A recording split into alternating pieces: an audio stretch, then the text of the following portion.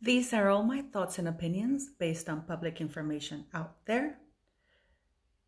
Please do your own research, and this is for entertainment purposes only.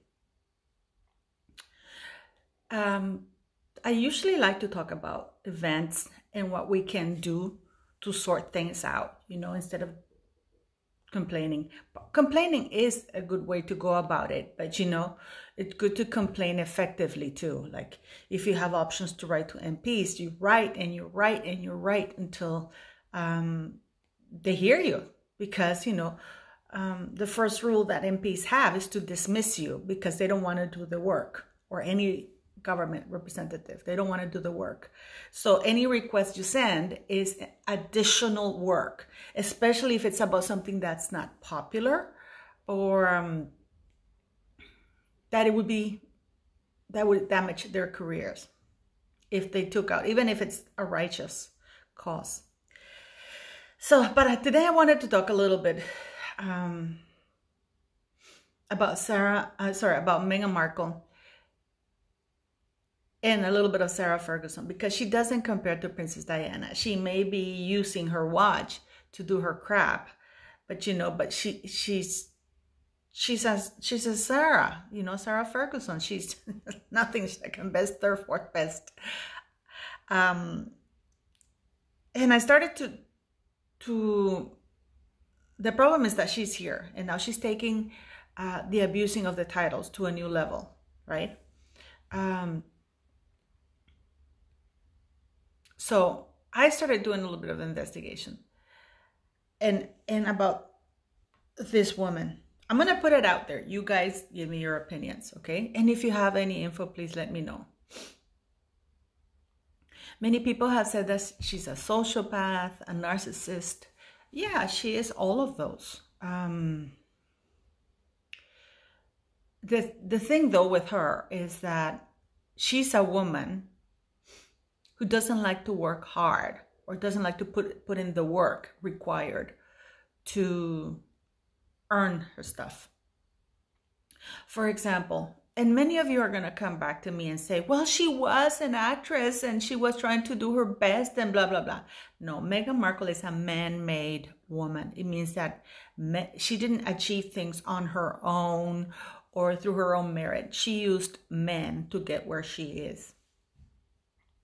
So I started thinking first, her father provided for the best education ever that anybody could have. Uh, she lived in a very nice home, uh, took very nice holidays. Um, she lived in luxury. She lived a very luxurious life. Uh, she went, and now, you know what's freaky? Princess Diana attend, uh, went to um, visited Northwestern University in 1996, a year prior to her death, um, to give a speech about cancer. She was doing this uh, fundraiser. And so she went there to, to Northwestern University, which makes me wonder whether that's why Meghan Markle went there. So I want to get a little bit about the university thing because some people are still arguing many things. so yesterday, I had some time off. So I decided to call Northwestern University again because I have called them in the past. And I asked them, you know, I said, I want my daughter to attend your university. Um, would it be possible? Um, which which undergraduate degree must she take in order for her to have and to major in theater? Oh, she, the the lady was very nice. Oh, she says uh, communications. And I said, how about international studies? And she says, I'm sorry, we don't offer um, um, the major of theater for the undergraduate in international studies. You know, she would have, if she wants to major in theater, she will have to take um, the communications degree, which makes sense. And for people who are having trouble understanding this and why this is a very terrible lie. And that she says with no problem at all. Because I asked her a lot more. I recorded the conversation. At the end of the conversation, I did inform uh, the university that I had recorded them, and they told me not to publish the conversation. And I'll tell you why in a little minute. So, so I said to them, but so my daughter would have to take the BA in communications in major in theater. And she says, absolutely. And she says, and that's about four-year degree. Uh, some students do it sooner, but you know, it is usually not advised. And I said, so what if she wants to have a double major? What other double majors do you offer in communications? And then she gave me a list of about 42. She says there's 42 or 40, I can't remember the number, that you can choose from. Now, I'll tell you how majors are because a lot of people don't know about this. Um, and I'll give you a very, a very, um, and I'll give you an example of that. For example, if you become, if you study engineer, you can major in electrical engineering, mechanical engineering, industrial engineering, aerospace engineering. Okay, because it's engineering, it, it, those modules are taught within the course. So you can major in, in modules or programs that are offered within that career. So, for example, if an engineer suddenly says, Oh, I graduated, um, let's say Northwestern University, just because we're talking about them, with a double major in engineering and heart surgery, people will go, What? And you're, how old are you? Okay do you understand what that means? And i'm i'm picking two careers that are completely apart because people think that international studies and communications is the same thing. International relations um sorry international studies and communications. International studies has nothing to do with theater. Uh, you can get African culture. International studies has to do with something completely opposite, just like engineering and being a surgeon or a doctor is. It's completely the opposite. So when somebody, if somebody were to say, as I told you before, oh, I went to Northwestern University and I graduated um, and, uh, from Northwestern University with double major in engineering and heart surgery. People will do a double take. So Meghan goes and picks, uh, you know, careers that people will not question. The problem that she has is that Unlike before, now internet can pick it apart. But we're going to start with the serious part about that. So when she says that she graduated from Northwestern University with two majors, which are theater and international, I don't know which one it is because she says international relations, although Northwestern University does not offer international uh, relations as a major, only as a minor. Uh, or international studies that would mean that she would have had to study two completely unrelated careers. And she went to university in 1999. Uh, she took time off from university to go to Argentina to do this. Um, and I really think that she did it for this reason. Because she's a grifter. She doesn't like to put in the hard work. So she managed to get her uncle, through her father, to get her an internship in Argentina at the US Embassy. She then proceeded to take the Foreign Service exam. The Foreign Service exam is an exam that people who want to be um, in in the diplomatic wor- world, like government, you know, but it's specifically related to diplomacy. Now, in order for you to pass, you have to take a written exam, um, oral ex- an oral exam, as well as they give you um, they give you an exercise in negotiation. So to see how your negotiating skills, there is a medical um, and psychological evaluation, and your background is checked uh, for to see for any criminal activities uh, that would stop you from getting um, security clearances. Because as when you work as diplomat, you do need to have security clearance, no matter even if you're just a filing assistant.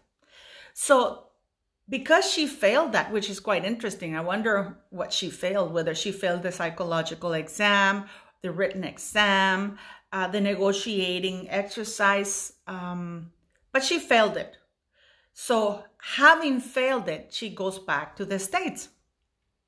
Because I think her idea was, oh, I'm going to just take this test and screw that university, you know, uh, I'm going to become a diplomat and I'm going to be this high ranking. But when she failed that, then she had to go back to university. So Meghan Markle is that is the kind of woman that she if she has no other choice, she will have to work. You know, she she did do you know what I mean? If she has no other choice, when her idea of doing this service, uh, the exam, because once you pass the exam, you're actually enrolled in that government uh, program that will teach you the skills that you need for diplomats.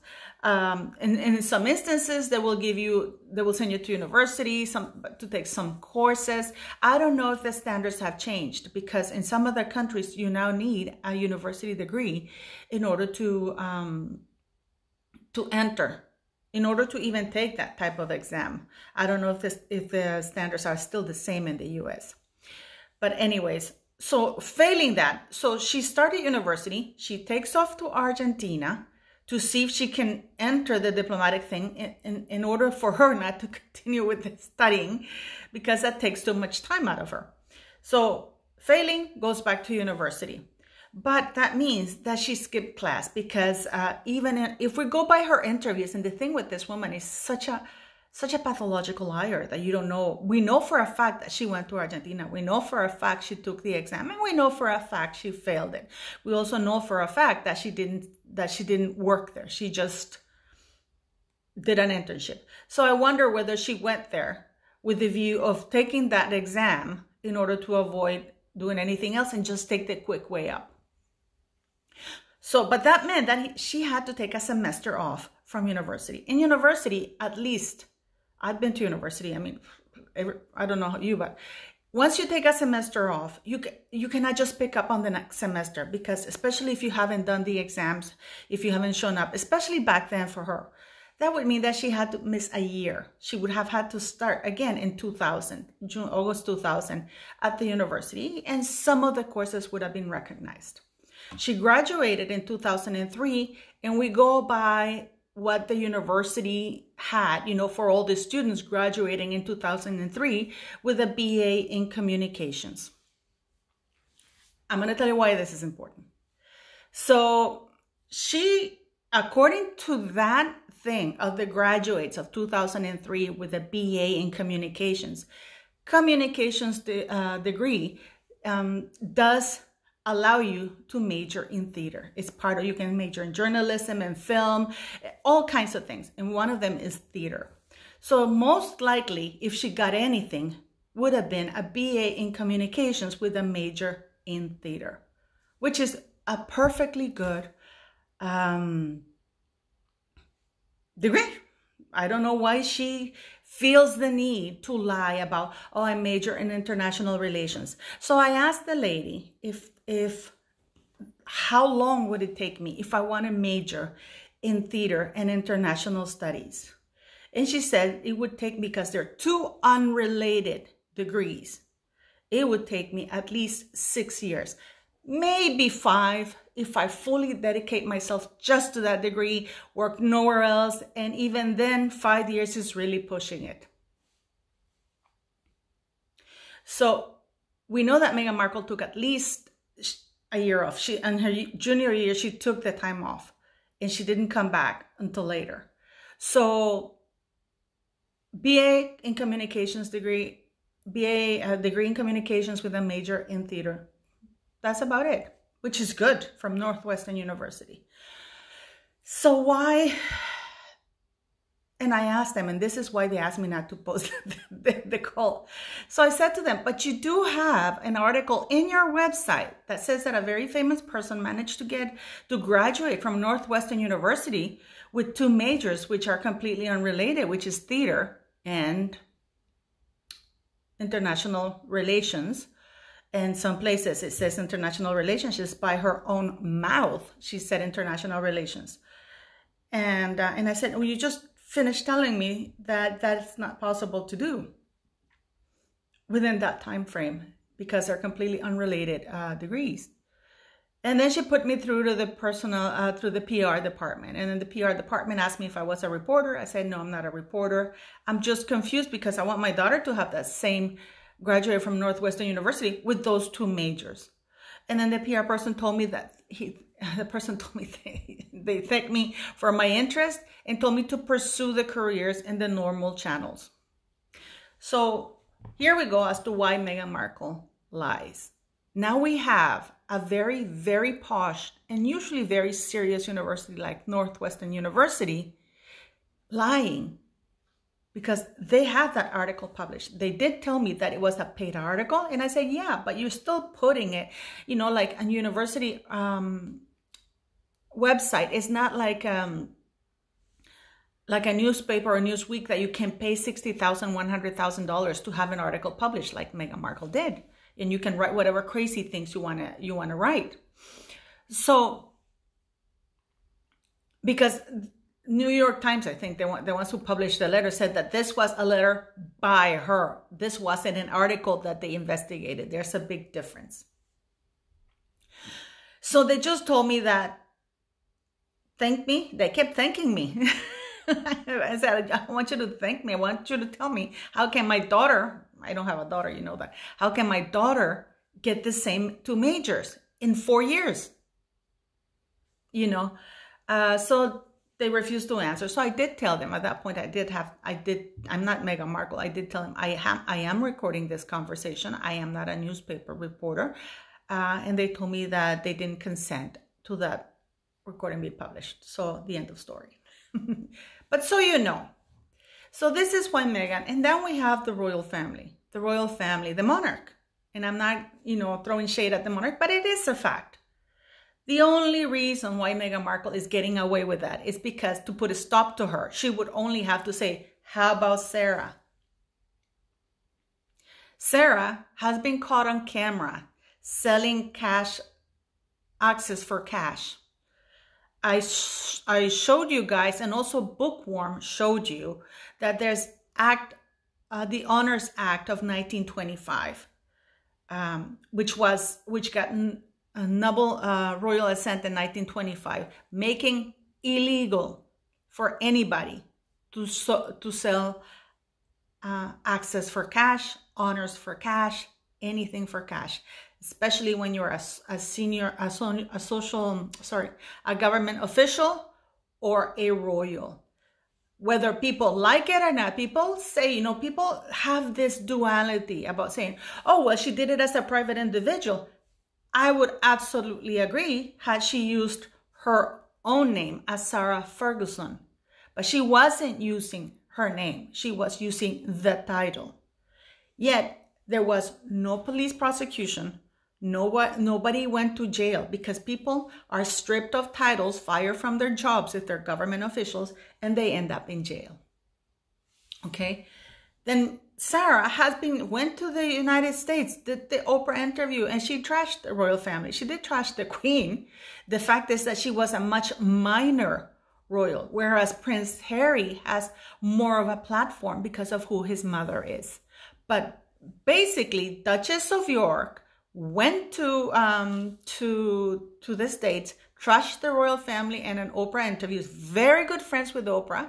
Her two daughters have been flown in private helicopters in Ibiza, uh, in Oprah's private helicopter, to go party in this major yacht in Ibiza. You know, and if you notice this, the two York princesses do not endorse anything Prince William does. Uh, or the Duchess of Cambridge, yet they endorse Meghan Markle. So please pay attention to that. So let's get back to Meghan Markle. So Meghan Markle, all she has to do is point out. This is why I keep saying there has to be a purge in the royal family because this behavior has been allowed to go on to so long that now they don't now they don't even bother to hide it. Now they feel entitled to do it. And if they're called out, you're a hater, you're abusive. No, we're not being haters. We're calling out. The problem that we also have is that people have been calling this out for so many years. And I know there's a lot of people who are Prince Charles lovers. And I ask you, why? I seriously ask you why. If you, we shouldn't, I, Sussex Sugars are known for being intolerant, close minded, and fanatical. There are Prince Charles Sugars as well, who are just as bad, the same as Cambridge Sugars. So we should all be more objective about how we view the royals because at least for me i want a monarchy that's decent um, Prince Charles. If you notice, even the press is guilty of this. They're not calling him out for the for the selling of citizenship, the selling of honors, and it's not the first time he's been caught. So this is why Meghan feels safe lying, trashing, uh, using the titles for the most dubious and unlawful things because she feels safe in the knowledge that in order for the royal family to stop her, a bunch of other people would have to be stopped as well and called out. And this is where this is an, a never ending, you know, spinning wheel. Like, you know, when you have like, um, what's it called? That you have the little rodent running around in that wheel, you know, it's ongoing. So Meghan Markle's actions are only going to escalate. This is a woman who doesn't know the meaning of the word work. Right now, what is she doing? She's not, and the reason why her her her things fail is because she doesn't want to do the work. She just wants the fame. She just wants the knowledge, and she just wants this and that. Many people are saying, yeah, Serena Williams doesn't talk to her. Well, her husband is sure as hell helping Meghan Markle. oh Ohanian, I think that crazy nut is who invented Reddit. He sure as hell sticking up for her. He just tweeted a bunch of things how people are hating on Meghan um, Hillary Clinton just posted, uh, oh, Meghan, did, not even Meghan. She didn't even use Meghan's name. She said the Duchess of Sussex. You know, because now they don't even want to use Meghan names. They want to use only the title. And by the way, the the bill that Meghan wrote for, advocated for, it was canceled. They took it off the table. It's not going through. Everything this woman touches turns to shit. And why? Because they don't want to do the work. She doesn't want to do the work. She thought that once she became, a, uh, I mean, the only hard work she's had to put so far is sleep with a man. That's it. That's the hard work. Because, you know, she has to sleep with a guy to get what she wants from the guy. That's has a word for it, right? When you get, you know, money or whatever in exchange for that. So that's Meghan's hard work, sleeping with men to get what she wants. And when she's done with them and they can't offer her more, goodbye. But not only men, her father, friendships. I don't think you can even call them friendships. I think you can call them um, targets. Every person that she sees is a target, it's a means to an end for her. So, but she fails one because she is very transparent. People can see her um, coming a mile away. Number two, she's not smart at all. She's like a little rat, you know, who, who doesn't know what she's doing, but she thinks she does. And uh, number three, yeah, she, she's not smart at all, you know, and because she's not smart, she makes stupid decisions. Number three, she's not willing to put in the work. This is why Oprah saw that. And Oprah knew she could exploit that. Oprah is another ruthless person. So it's incredible. The reason why she fails is she's not smart. She doesn't want to really put in the work. Suits, was another very good example as to it's like when she had to go back to the university, you know, because she failed the exam. So Suits was another place where she kind of received some fame. But having been there, having been very well exposed in Suits, having a moderate fame in a very small circle, but to her, that's the most fame. Instead of that being a trampoline, trampoline to another, to bigger and better projects, she actually fled to the UK to look to star in a reality TV show because there were no other projects. She started doing all these B, D list movies because nobody else was offering her anything. Nobody else was. So now she's got the Duchess thing and she's doing exactly what Sarah Ferguson is doing. So Meghan Markle is not going to stop. She's not going to stop. It's only going to increase. So for the American people, and, and, and once and for all, let me tell you that the Queen can issue a letters patent, send it to Parliament, have it signed by Parliament, and have it sent back to, um, to her for royal assent that specifically deals with the Harry situation and she's not going to do it. I know, I, I know people are going to come into my feed and say, oh, no, the parliament has to be involved. Of course, parliament is involved in anything, but it's merely a formality because it's been done many times. Okay. So, um, So for people who are doing that, Meghan Markle doesn't like to do the work. She doesn't like to work hard. She thought that having the Duchess title would open everything easy and people would be falling at their feet to do stuff. So for those of you who think that she is not talking to her celebrity friends, they are still helping her. Not as publicly as before, because even Oprah's strategy backfired. Because the only reason why Oprah, you know, got attached to her was because she thought, oh, I got this girl, she's a winner, and I'm gonna, you know, make her a superstar and I'm gonna attach myself to her, just like Prince Charles attached himself to Meghan. Remember how he was, oh, Meghan this, Meghan that, she's coming, because he also thought that, oh, I'm gonna attach myself to this woman because, you know, her mother is biracial and, you know, and and, and and she seems to be popular right now. But when when her true colors showed up, that she's just a piece of shit wrapped in a in a okay looking package and not anymore because age does not become her. You know and it's nothing to do with that but it really age does not become her. I don't know if it is because somehow your inner person reflects on your outer physique. I don't know. But age has not been kind to her. And it's just gonna get worse because she's now looking like you know. So yeah there is a very easy way to stop meghan also for our United States friends, there is, I, I posted, go to my post in my YouTube channel about this uh, judgment issued in 1827 or something like that, where it forbids people using royal titles. So you can actually go there while you're also lobbying for the titles of nobility amendment to be ratified in Congress. So just do that because then she won't be able to use the Sussex title. Although, as I told you, there is already a court ruling, and I posted it on my on my YouTube. What do you guys think? Do you think that she's failed because she's, you know, she in her blog she used to blame her not being black enough, not being white enough, uh, for not getting um, roles. No, that wasn't the case. she was just not talented enough, not pretty enough, not remarkable enough. Okay. Now, the only thing that's making her stand out a little bit is that title that ranks her about all the people she was once linked to. Do you know what I mean? So let me know what you think. Why isn't she successful?